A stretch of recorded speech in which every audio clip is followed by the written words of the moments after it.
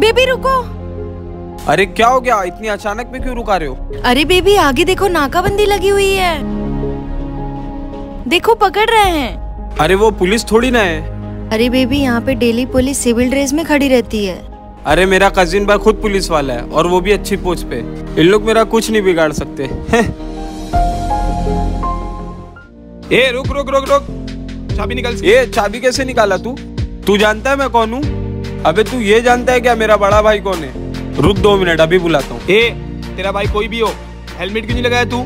चलान भर और जा यहाँ से। रुक अभी बुलाता हूँ। हाँ जिसको बुलाना बुला।